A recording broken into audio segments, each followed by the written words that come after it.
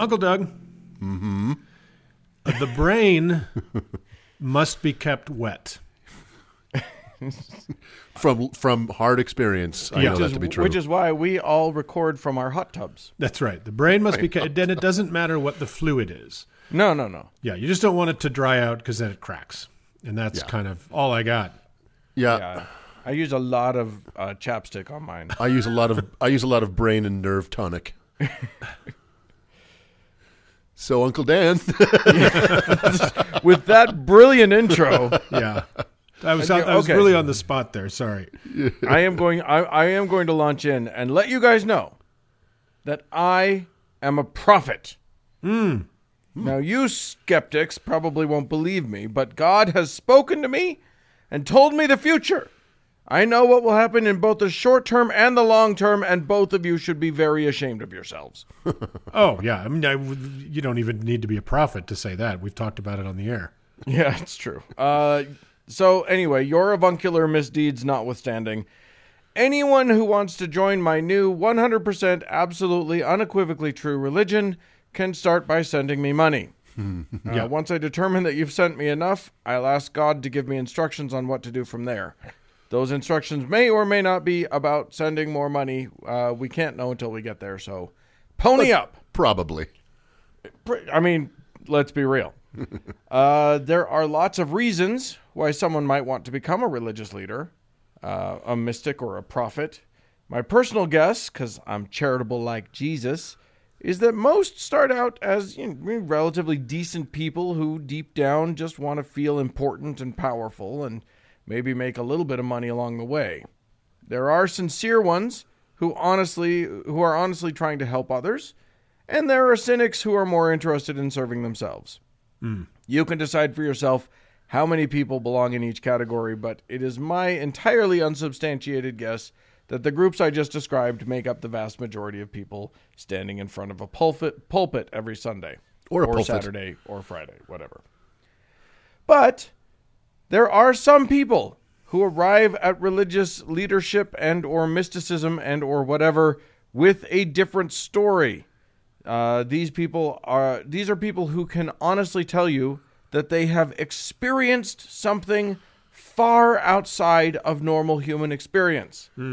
They come to their prophetship or prophetdom, propheticism. Prof- anyway, Pro- prophet- profession- propheticalism. I think yes, that's it. indeed. That's the Uh, Latin, anyway. Right. Uh, they come to it through powerful encounters with the divine.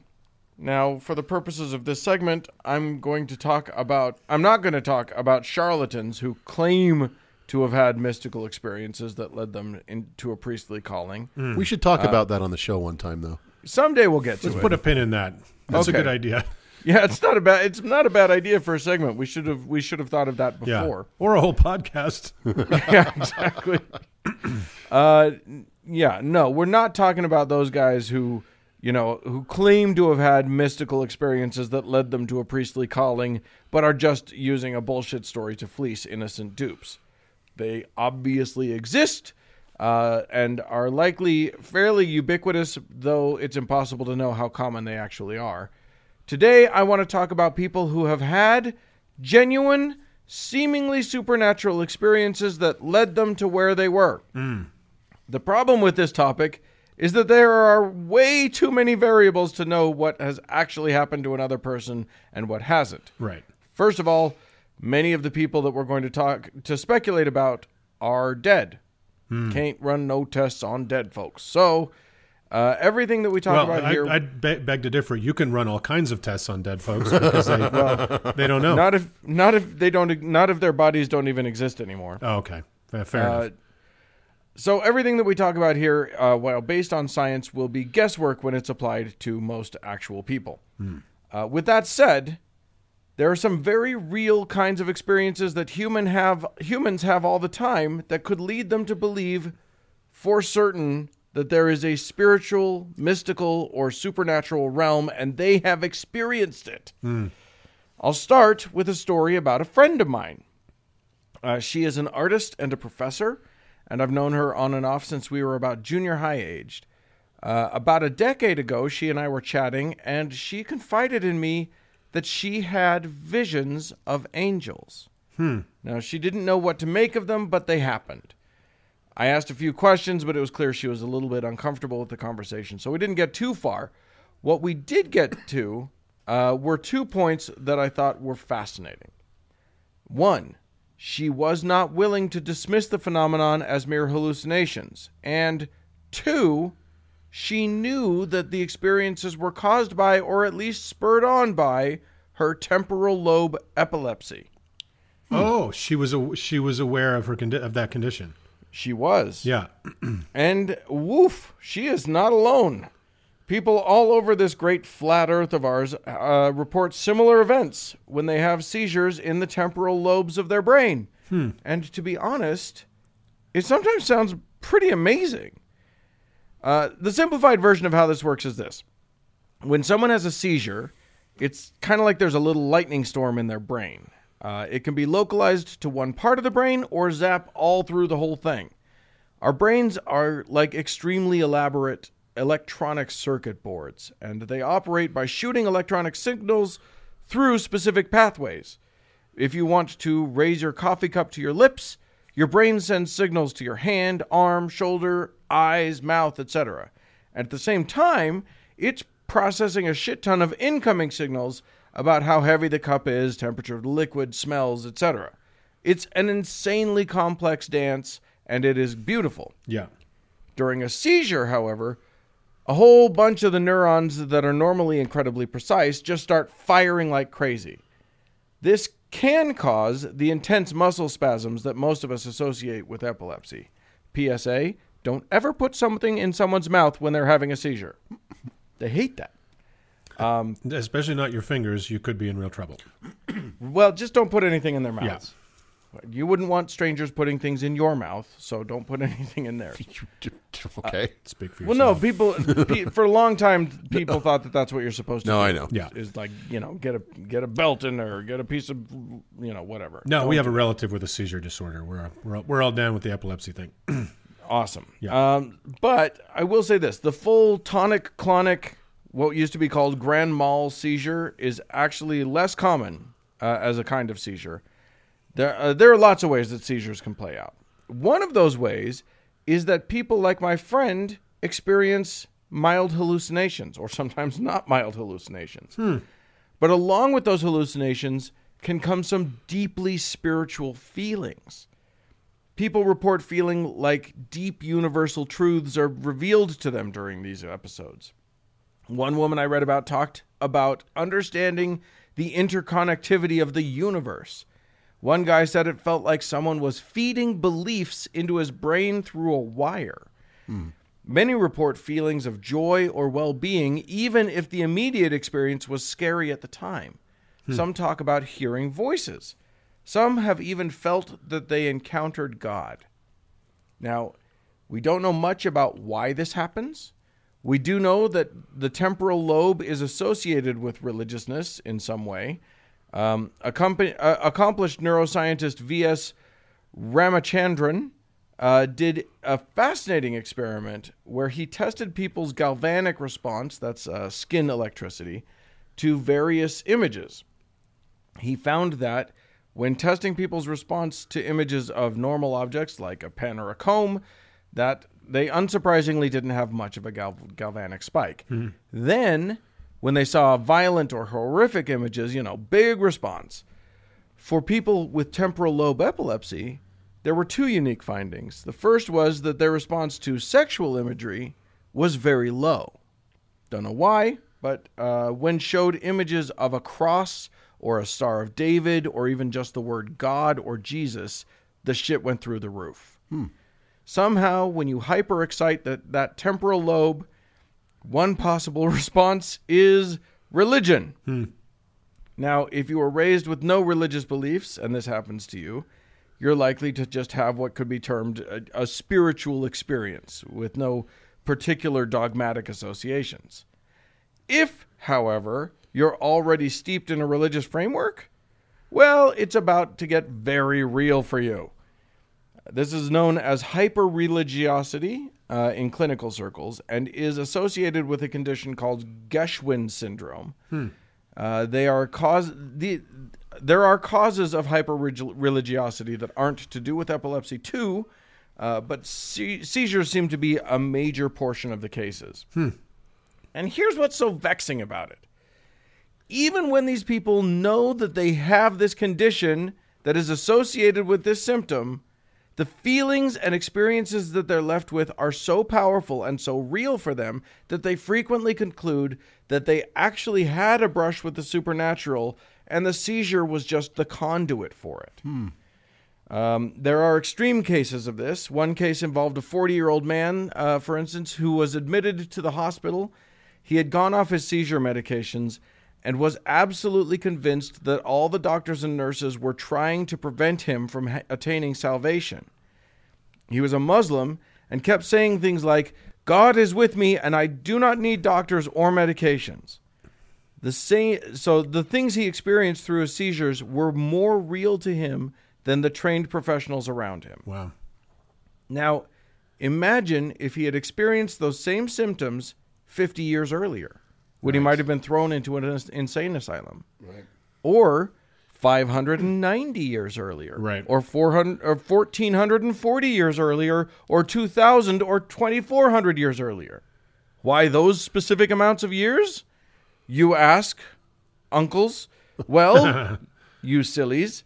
That's because when that's when a few famous people throughout history uh, who very likely might have suffered from the same condition lived. Now, 590 years ago, a young peasant girl in France was helping Charles VII become king after visits from the Archangel Michael, St. Margaret, and St. Catherine of Alexandria. The voices that Joan of Arc heard and the events that she described surrounding those visits were consistent with tempor- temporal lobe epilepsy. Hmm. As were the visitations for 1440 ish years ago of Archangel Gabriel to a 40 year old guy in a cave outside the city of Mecca. S- uh, study a study of descriptions of Muhammad from the Hadith uh, have led scholars to and scientists to say that he likely had the same types of seizures. Uh, seizures are certainly possible in the case of a certain moment for Saint Paul as he minded his own business while traveling down uh, traveling on a business trip to Damascus. Uh, and you'll remember a couple of a couple of weeks ago when I talked about demons. Well, we get that word from the Latin word daemon, which comes from the Greek word daimon, which means roughly deity. Well, one ancient Greek was apparently visited by a daimonion, which translates to a divine something. Uh, this was a voice that would warn him about mistakes he was making. Socrates didn't believe in the gods of his time, but was and was forced to drink poison because of the spiritual entity that he did believe in, which was probably just an audio hallucination caused by his brain going zappy every now and then. Mm-hmm. So, while there are plenty of lying assholes out there looking to fleece a bunch of sheep, hmm. let's take a moment to spare a thought for those who are genuinely convinced that they have that they're having a divine encounter. You know, yeah. because their brains go on the fritz. Yeah, for sure. I mean, that's a that's it's a it's a great point that there are people who truly believe they have had these um, divine visitations and visions and and heard voices, and you know, like Joan of Arc would probably go ahead and get set on fire, not denying them, right? Yeah, exactly. Uh, we it, it's so easy for for we uh, snooty atheists to dismiss the religious uh, experiences of others, not knowing that you know whether or not they actually they may have had some very profound experience that isn't what they thought it was, but uh, but is nevertheless still uh, vitally important to them. Yeah, for sure. No, that's that's really fascinating, and you know, we've we've talked plenty about what we would consider. I mean, we would consider all of them to be false prophets, technically, correct? But uh, but people that are just total shysters. We've talked about Yeah. plenty of times on the show, but it's really an interesting phenomenon that that there are those people who are like, no, this actually fucking happened. I saw this, and including your friend who knew why she was seeing the things she was seeing Yep. but still found them kind of profound experiences, right? Yeah, and and I can understand why when someone experiences something that feels deeply profound, that feels like they've gotten some sort of access to knowledge or information that they never had before, their brain has made connections that, you know, that are well beyond anything that they had ever that they had ever thought before. I can understand saying and plus literally visually seeing beings external from yourself Yeah. with your own eyes or hearing them with your own ears, I can understand thinking maybe something, maybe this is more than just me. Maybe this is bigger than just me. Maybe something real is happening. I don't know if we've talked about this on the show before, but I am a. I've talked about being a migraine sufferer, and um, they've kind of come and gone through the course of my life. But there is, with the latest batch, there is a very occasional thing that happens. I think it's happened two or three times, where after it's passed, there is a an absolutely real set of experiences in my head, a set of memories that I just I'm like, oh, this is I don't remember remember I don't remember these things happening. And when I think about them for a while, I'm like, well, that never. So, for instance, I I literally had a memory as like it really happened, like we're talking right now, that Barack Obama called me and said, "Hey, do you want to go to the Kings game with me?" And I was like, "Oh fuck, I'm in Toronto, but let me see if I can like figure it out." Yeah, I'd love to, dude. Let's. I haven't seen you in a long. Like, I've never met Barack Obama. Right. As far as I know, he does not have my telephone number. I have no interest in seeing the L.A. Kings fucking hockey team, but it, I'd certainly go with him. That'd be fun. But it was as real as real could be, and it took me like 24 hours to convince myself it hadn't happened. Right. Wow. So I'm I'm your rational Uncle Mark, and but there it was because of a, a you know a neurological condition. There was a memory that was as real as any other I've ever had in my head, Yeah. and I had to you know go back through my life to convince myself no, that didn't happen. Well, you know, memory and brains are far more plastic and uh, malleable than we want them than we want to admit that they are. Yeah, Uh, This And is a, a similar experience, but very not from a um, a migraine or something like that. But I had a dream. In my dream, um, a friend of mine murdered somebody and reached out to me, and I helped my friend dispose of the body. I think we wrapped it in a carpet and I think it we've in a dumpster. admitted to enough on this show this week.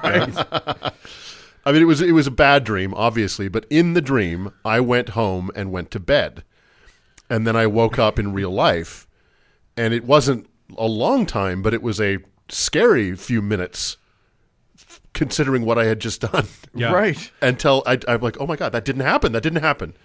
But f- but my memory of it was very vivid and very clear. Um, and and that's just a dream. I'm I, I'm agreeing with you, Uncle Dan, that the that memory is such a fickle mistress. Yeah.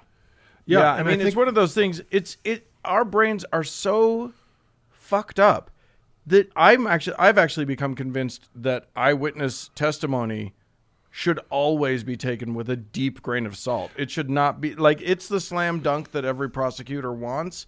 And we as a society should be abandoning eyewitness testimony as almost worthless. That's Yep. what the science around eyewitness testimony says now. yeah. right is it's it is incredibly unreliable like i i um uh s- somebody threw a rock through my neighbor's front window a few weeks ago right and um i had i had seen one person walking by somebody just, anyway and when the police came i started describing what i felt like i had seen and then i just started realizing i don't think i really got that good a look at him Right. you know, I think I'm relying on what I heard other people say. And I was right. Like the person that I had in my mind's eye was not the person that when, when they looked at the security camera was not the person who did it. Right. And it was just that was like minutes later, 20 minutes later, right? So memory's weird. Yeah, yeah, and so so and the human brain can manufacture amazing things, and maybe you know I maybe we'll have to I'll have to do a, a segment maybe next week or or sometime soon about other ways in which our human brains can be uh, can be convinced that they've ex- that they've had a religious experience when indeed no I mean you know the person has experienced something profound and religious, but it wasn't from anything but your own silly little brain. Well, we joke about that. We, we one time on the show, or it's actually several times, we've talked about what it would take to believe again. And um, I, I, one of us, it might have been me, said something to the effect of, "If I had, if I actually saw an angel descend from heaven and speak to me, the first thing I would do would be to go to the hospital." Yeah. Because the most likely scenario is that my complex and very imperfect brain is playing tricks on me. Yeah, go go go get you know have him look under the hood, and if everything's okay, then be like, all right, now I have to reconsider this. right? but we talked about this when we talked about the religious experience along. I can't remember what episode, and and the God helmet, how they were able to stimulate parts of the brain, I the frontal lobe, I guess, Dan, to um, have people experience deep spiritual feelings, and some of them, a small number, even felt like they felt the presence of God in the room. Um, right. When I was reading up on that, there are there was a study of Vietnam veterans who had suffered a very particular sort of brain trauma, and for the rest of their lives, they felt like they were experiencing some sort of divine presence, etc. Right, spiritual experiences. So. And why would you want to take that away? Like, the, uh, you know, if you have that experience, if you, you know, if if if you had a brain trauma and then from then on, something that felt beautiful was happening happening to you, I I think it I can see why a lot of people would be like, yeah, you're not going to convince me otherwise. I love that thing. I don't want it to go away. Yeah, but I mean the the, the son of Sam, right? That that's the counter example. He was hundred percent convinced that a dog told him to kill people.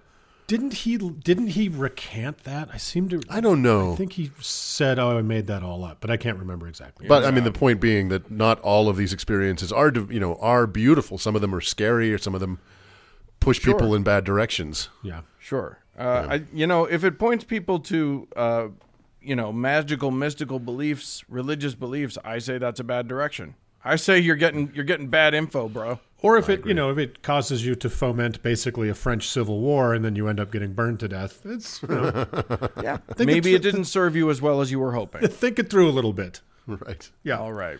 All right. Well, that's uh, that is frontal lobe epilepsy, I guess. No, that's temporal lobe temporal epilepsy. lobe. Jeez, sorry. And uh, yeah, it's it's not in the front; it's on the sides. So uh, keep keep your brains in check, and let's move on. Yeah, I got to go because I've got got to hit the Kings game with Barack Obama. So talk to you guys later. right. Bye.